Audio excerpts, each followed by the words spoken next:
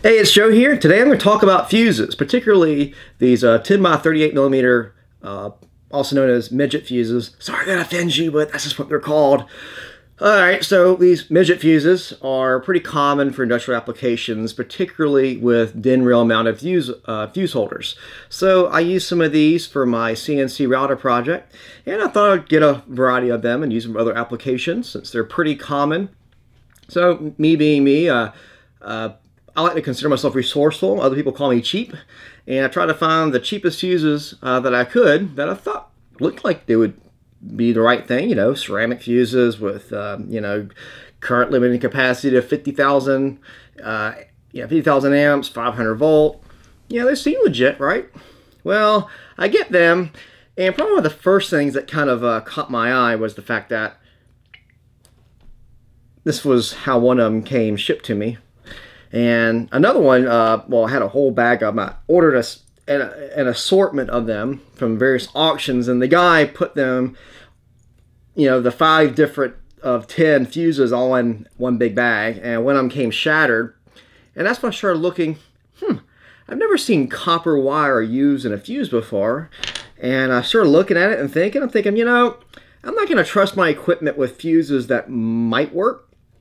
So I decided that, hey, how about I take this, you know, I got like about, what, about eight different sizes, you know, 3 amp, 2 amp, 1 amp, all the way up to 32 amp.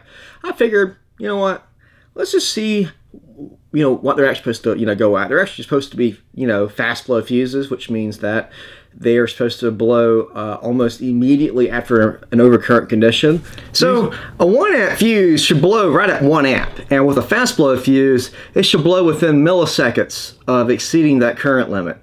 So what we should see is that if this thing actually worked, we should actually see it blow immediately after we pass 1 amp. So let's see if we do.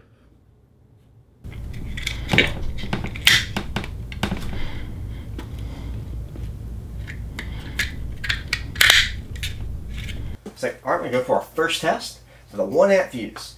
All right, cranked it up and I'm at 2.64 amps. Huh, that's odd. I could have sworn it said one amp. They're holding strong. Let's see if we bump up a little more.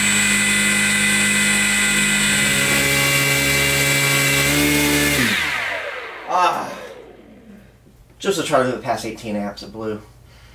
I was really hoping it could do more. Actually, not really at all. It's actually quite scary. In fact, this is kind of how fires start. And especially for a 1 amp fuse. I mean, what it was supposed to be protecting, it'd be long gone, on fire, smoking, who knows. But that fuse did not do its job. So, let's just see if that wasn't a fluke thing. Let's try this again.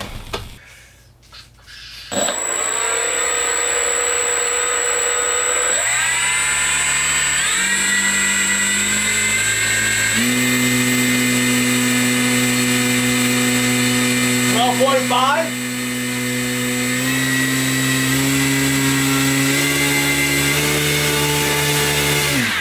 Twenty. Twenty. Got the 20. 20 times its current uh, limiting specification. So, yeah, it's not a fluke thing. These are, quite honest, counterfeit. Probably the only thing authentic on these things is probably the uh, ceramic tube that they're in. Uh, even these caps really aren't the correct size. They're supposed to be, uh, actually, they're supposed to be a little bit deeper. So even those are probably counterfeit.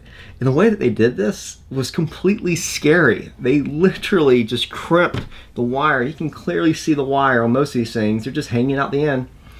You can just tell that they just, just probably had a machine that just drew a piece of uh, copper wire went ka-chink in a press. This is scary. It's scary because many people would probably buy these thinking they're buying the correct thing and they're putting in their equipment. And what happens whenever somebody, you know, whenever a house burns down or a business burns down, because these are usually for industrial type stuff. So that's what's scary. So I hope this gave you a little bit of enlightenment on not trust cheap Chinese fuses. They're cheap for a reason. So here's one of those things where the whole idea of a fuse is not something that's an inconvenience. It's not there to make fuse makers money. It's there to protect you and the equipment. So don't cheap out on fuses. Get a Bussmann, get a name brand. Just these, the only good use for these is filling up trash cans.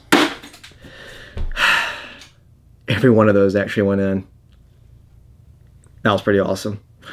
So, anyways, I hope this helps you out, and hopefully uh, this will get out, and we can keep these fuses from entering the United States, or really any there, anywhere for that matter. So, hope you enjoyed, and stay safe.